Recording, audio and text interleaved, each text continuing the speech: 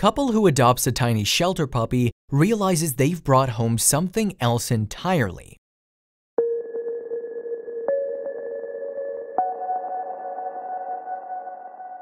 What your husband doesn't know can't hurt him, right?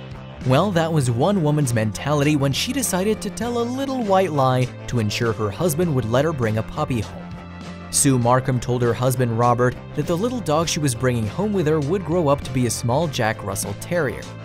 This was very far from the truth, however. The little pup ended up turning into something very different and very, very big. Meet Yogi, or Bear as his family and friends call him. When Yogi was a pup, he was the tiny thing you see before you.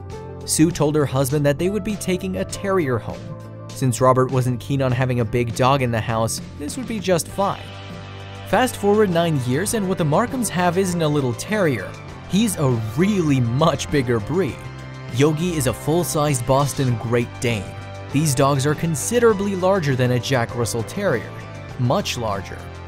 On average, they weigh just about 135 pounds, and terriers only weigh 14 to 18.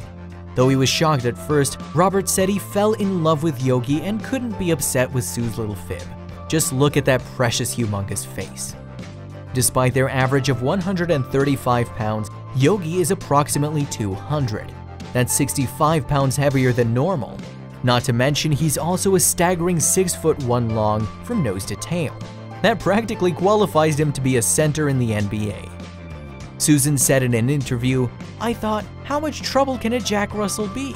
By the time he was 5 months old, he was bigger than any Jack Russell he came across at the park, and he had this big tongue that lolled out of his mouth and a tail like a baseball bat.